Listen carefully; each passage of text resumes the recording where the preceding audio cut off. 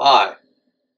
So when I ordered my last jug of cactus juice, I see Curtis is selling PID controllers to control the heat of your uh, oven. This is one I built for uh, when I was making waste oil heaters. They work great. Trust me, buy one from him.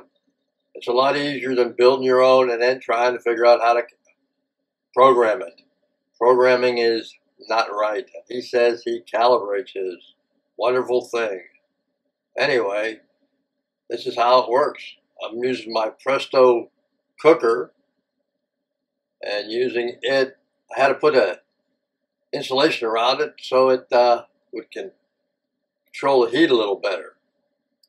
I have this one set at 190 degrees. I should have read his information. He sets his at 180 next time. Anyway, it worked great. Uh, I'll, I'll leave a link in the description section too of a guy that really shows you how to set them. There's a hundred how to set them on the uh, YouTube. This guy, it's a long, long video, but it really shows it. Anyway, it maintains it right at 191 degrees, no problem. Works great. Can't really see it real well in the next pictures here. I'm showing you the blocks. These were double dyed and then cooked with the uh, PID controller.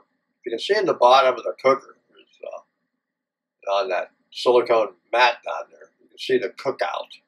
A lot less cookout if doing it this way.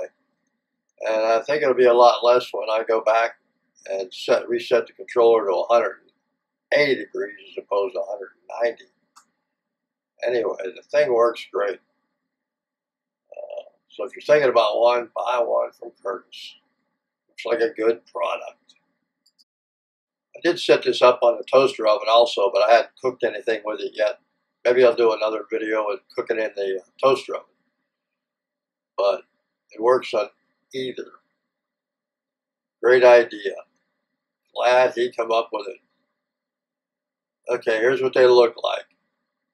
And here's a, and I'll show a comparison of the last ones I cooked regular way. All right, thanks for watching.